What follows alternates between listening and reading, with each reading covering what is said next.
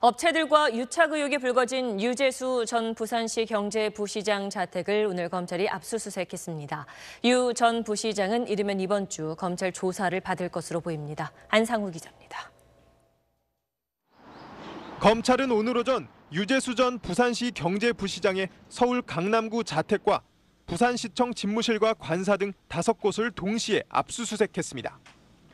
유 전 부시장의 휴대전화에 대한 압수수색 영장도 발부됐지만 유 전 부시장이 현장에 나타나지 않아 확보하진 못했습니다. 유 전 부시장은 지난 2017년 금융위원회 금융정책국장 재직 당시 자산운용사 등 감독 대상 업체들과 유착한 의혹을 받고 있습니다.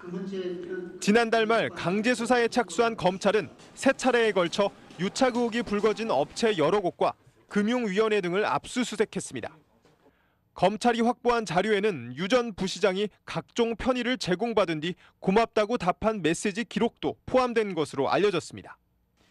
김태우 전 특감반원은 지난 2017년 청와대 민정수석실 특별감찰반이 이런 의혹을 포착해 유 전 시장에 대한 감찰에 착수했지만 상부의 지시로 감찰이 중단됐다고 주장하기도 했습니다. 검찰은 업체들과의 유착 의혹을 조사하다 보면 감찰 무마 의혹도 실체가 드러날 것으로 판단하고 있습니다.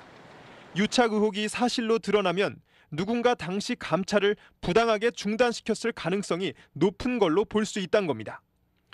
검찰은 증거물 분석과 참고인 조사를 마치고 이르면 이번 주 안에 유 전 부시장을 소환 조사할 방침입니다.